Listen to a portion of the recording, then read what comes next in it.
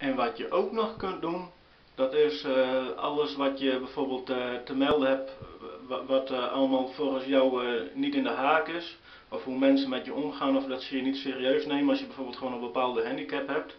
En ze blijven je, je maar ermee belasten met wat hun jou willen laten overkomen, zeg maar. Waar je gewoon eigenlijk machteloos tegen staat en hun weten dat heus wel. En ze blijven je gewoon maar niet serieus nemen als het gewoon echt jaren duurt. En, en eh, je komt bijvoorbeeld niet eens een herstel toe als je eenmaal in de ziektewet bent beland. En je bent bijvoorbeeld jaren verder. Je kunt bijvoorbeeld ook alles eh, gewoon eh, op internet zetten, op bijvoorbeeld social media. En je hebt ook bijvoorbeeld op bepaalde plekken, daar kun je dingen neerzetten en dan kent er niet eens meer af. En bijvoorbeeld eh fotobucket.com. Eh, nou, dan kun je bijvoorbeeld foto's neerzetten van documenten of dat soort dingen. Eh, er zijn allerlei manieren. Dan kun je, gewoon, eh, ja, kun je toch gewoon de openheid zoeken.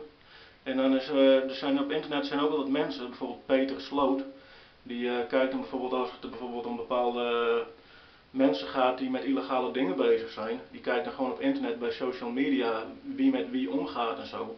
En je hebt bijvoorbeeld ook de, de BVD, meen ik, of geheime dienst of zo, die zit ook op internet te kijken van eh, wie is wie en dat soort dingen.